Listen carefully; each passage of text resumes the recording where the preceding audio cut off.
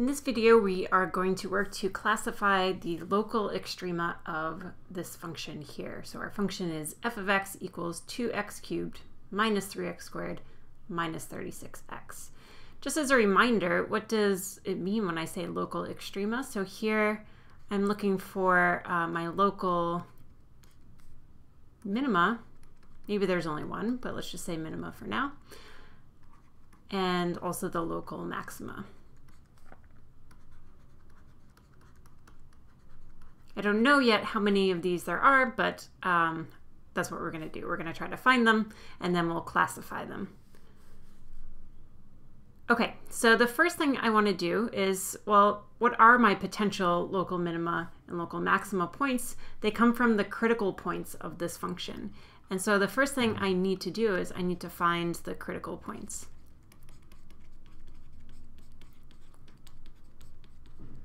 All right, and so what are these? These are the places where, so we have two types of critical points. Either our derivative is equal to zero, or the derivative does not exist. Okay, for this function, we actually only have to worry about the first case. Um, the reason for that is because we have a polynomial this function is defined for all x values. So for all real values x, this is defined, and so is its derivative. And so we actually, we don't need to worry about uh, this case for this specific example. For other examples, you will have to double check that. All right, so all we really need to know is when is our derivative equal to zero? So we're gonna start by computing the derivative. So the derivative of f with respect to x is going to be 6x squared minus 6x minus 36. So I'm just using the power rule uh, three times for, so once for each of my terms. The next thing I'm going to do is I'm going to factor this, and that's going to help me figure out what my x values are that are going to make this derivative equal to zero. Uh, I'm going to start by factoring out a 6 from each of my terms here. So I'll have 6 times x squared minus x minus 6. I didn't need to do that, but now since I've done that, it's a lot easier for me to see how am I going to factor this, um, this uh, expression right here. And so I'm going to factor this so it factors as 6 times x minus 3 times x plus 2.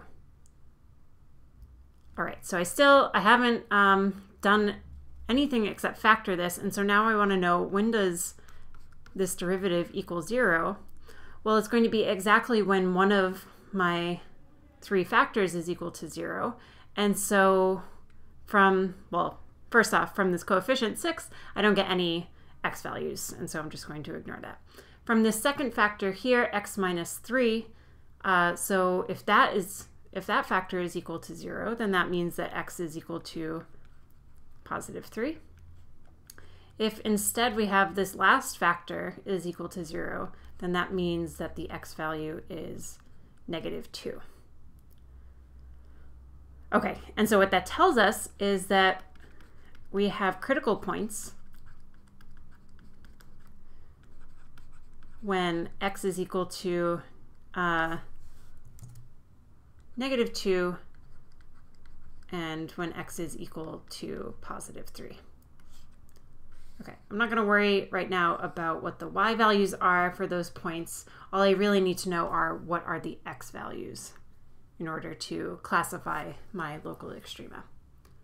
Okay, and again, just as a reminder, um, and of course you can always go back through the video, but let me just say this um, now, these are the potential local extrema.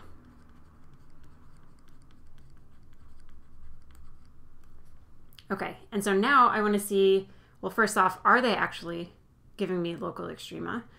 And if they are, are they giving me a minimum or a maximum? Okay, so that's my next step is to classify those critical points.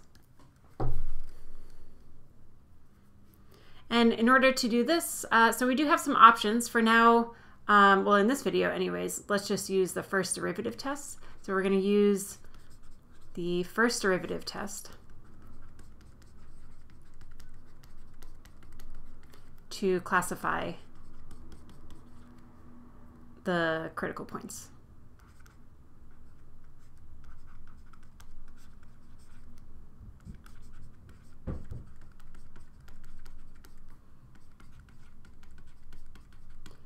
So what does that mean? So what that means is I'm going to use my first derivative um, in order to determine what the sign of the derivative is near these two critical points. And when I say the sign of it, I, I don't mean like the sign function. I mean, is it positive or negative? And so what I'm going to do is I'm going to set up a table of values. And so for my x values, again, I want x values that are um, near these two critical points. And so I'm going to choose x values above below and between those. So let me start by putting my two x values in for my critical points. And now I just need to choose any x values that are, um, so to start, I need to choose an x value that is less than negative 2. And so let me just choose negative 3. I need to choose an x value that's between negative 2 and 3, so let me choose 0. And then I need to choose an x value that is larger than 3, let me choose 5.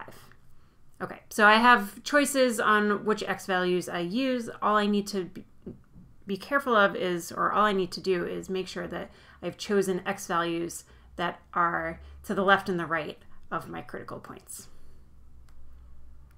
All right, and so for the lower uh, row of my table here, what I want to do is I want to keep track of values of the derivative at each of these points.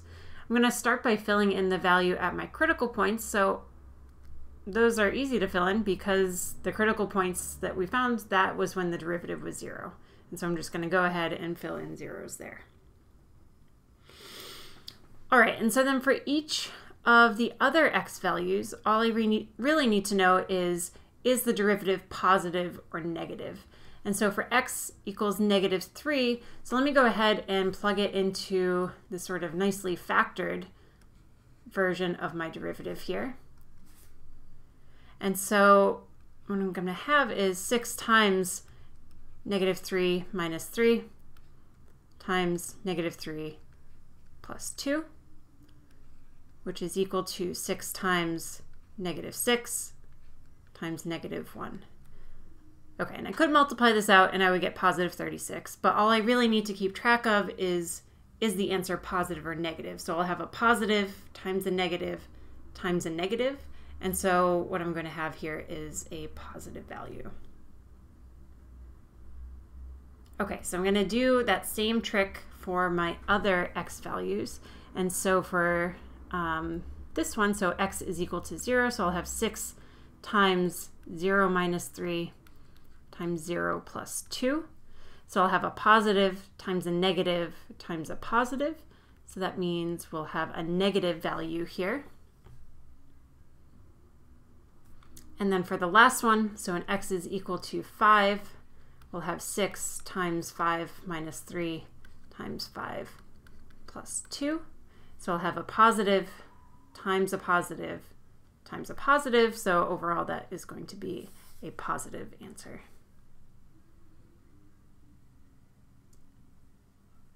Okay, so once we have all of those signs, meaning whether they're positive or negative, something I like to do is I like to just start by sketching uh, what the graph might look like at these points.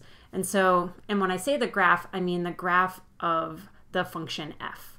Okay, so things might get a little bit crowded here, um, but let's see. So if my derivative is positive, then that means my function f is increasing.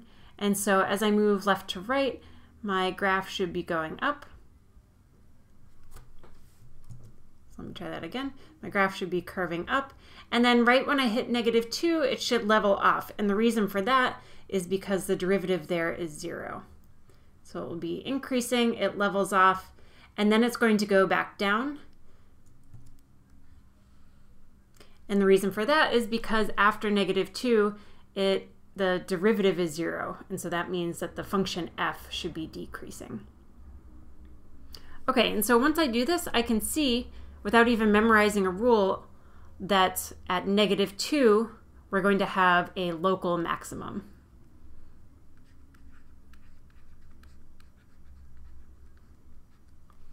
So we can see by sketching the graph of f here that we're going to have a peak right at the x value negative 2, and so that means we'll have a local maximum.